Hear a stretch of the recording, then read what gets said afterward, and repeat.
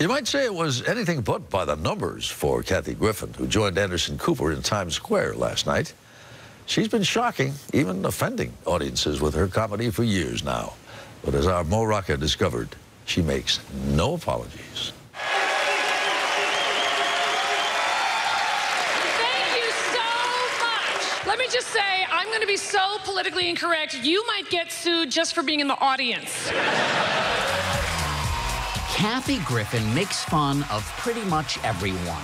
I swear to God, my mom was just messing with me. Her mother, Maggie. But, you know, you give her a box of Franzia and she's good to go. I like to have a brow lift once, twice a year, Herself. where they just take my eyebrows and put them on a totally different part of my head. Um, And more than anyone else, going after Paltrow, Tommy Lee, Larry King, Renee Zellweger, Pam Anderson. Hollywood So, stars. like, Uma Thurman is there with her big bag of BS. Now, first of all, where the hell does she think she's from? You know she's from Boston with that accent. All right? She's not from, you know, Europea or wherever she thinks she's from. A lot of people think she's funny. If you don't, well, she says, that's just too bad.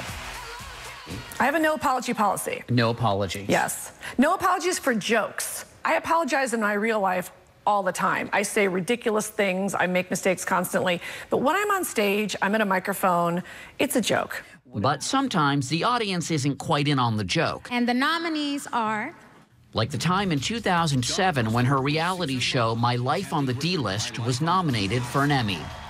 And the Emmy for outstanding Leaving nothing to chance, Griffin goes to carefully plotted her speech. Kathy Griffin, My Life on the D-List. And advance warning some of you will find what you're about to hear offensive. I wanted a speech that would be water cooler worthy, meaning I thought, if I don't get up there and say something outrageous, no one's gonna ever know I won an Emmy. Now, look, a lot of people come up here and they thank Jesus for this award. I want you to know that no one had less to do with this award than Jesus. People certainly knew she'd won that Emmy. So all I can say is, suck it, Jesus. This award is my God now. The speech angered religious groups across the country, from the Catholic League to a Christian theater group in Pigeon Forge, Tennessee, which ran a full page ad in USA Today denouncing Griffin. So, if you were going to answer seriously somebody who said, Kathy Griffin, why are you attacking Christianity? What would you say? I mean, I wouldn't even indulge them in an answer. I probably wouldn't even say anything as serious as get over yourself. That sort of scorched earth approach to comedy has endeared her to fans. Isn't Scientology one of those things where you really like someone and then once you hear they're a Scientologist, you're like, "Mm, I'm out. You know? But in Hollywood, she still gets surprisingly little respect. I'll be honest, there's a part of me that does think I'm held to a different standard than my contemporaries and peers, and it's a little frustrating. A few years ago, Vanity Fair did a spread on women in comedy. Why the heck were you not in there? Can I tell you, that one hit me hard. And normally, I try not to let that stuff bug me, but I have to admit, when I saw that cover, uh, uh, you know, I had a couple tearful days. You know, when I'm not in the Maxim Sexiest Comedians article, that one, you know, doesn't really hurt. But the Vanity Fair one hurt because I'm such a fan of the magazine. Being a fan is what makes 51 year old Kathy Griffin tick. She lays the blame squarely on her parents, John and Maggie, and her upbringing in Chicago, where the Griffins kept up on the latest celebrity gossip.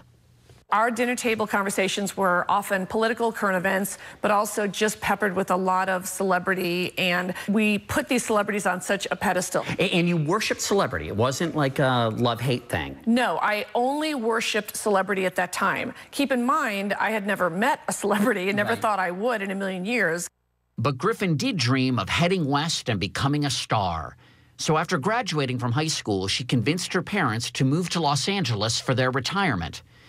By day, Griffin hustled as a temp. At night, she honed her comedy chops at LA's famed Groundlings Theater, all the while living at home. And her mom, Maggie, was just fine with that. She lived at home until she was 28. You know why I didn't want her on? I didn't want her posing like all the girls that posed uh, nude on uh, calendars. Yeah. Well, they had no money. So you didn't want Kathy having to go topless to make bread Oh no, no, no, not at all. I didn't, hon- honestly, I didn't- we didn't want her doing any of that stuff. Ms. Melissa Klein, sir. LA Press, Urban Beat. In the 1990s, her stand up comedy led to guest appearances on The Fresh Prince of Bel Air. It's showbiz. Everybody stinks. Yeah, you've been sticking since the 80s. All right, I think we've covered my act. And Seinfeld. And then, beginning in 1996, a four year stint on the sitcom Hey, hands off the honker. Suddenly Susan. Listen, you, when someone really has a schnoz like that, it's the last thing they see when they go to sleep at night and the first thing they see when they wake up in the morning. so stock up on Froot Loops, my little toucan. Class starts now. That job changed my life. Being able to give up my job as a temp and actually make a living doing comedy was staggering. But when it ended, what did you think was going to happen? When it ended, I crashed hard. And I thought that I was the breakout star from Suddenly Susan. And I was naturally going to segue into the Kathy Griffin show. And it would be like Seinfeld and Roseanne combined with my point of view. And what happened was I didn't work for a year, cried, watched Oprah, and slept till one in the afternoon while eating Haagen-Dazs in my sleep. More than a nobody, but not quite a star, Griffin went back to stand up Put your hands together for Kathy Griffin! and discovered that her real life awkward phase would make for a good, Okay, here's the thing. Get out of my way. what else? Reality show. I am a D-list celebrity. I own it. I screwed my way to the middle. My Life on the D List, which won two Emmys and was a staple on Bravo for six years, laid bare Griffin's life, I spent half my time trying to get my name out there. warts and all. Kathy Griffith is the funniest. Griffin, it's Griffin. Her marriage, And if that wasn't bad enough, Her divorce. marriage ended. And there went six years of my life. My dad was really special. and the death of her father, a beloved D List regular. Don't take any crap from those people. I won't.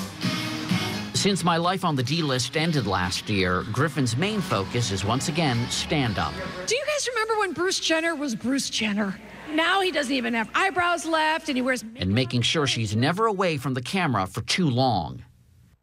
If you think it's just about being famous, you're only half right. It's about being rich and famous. I'm very open. I'm not an artist.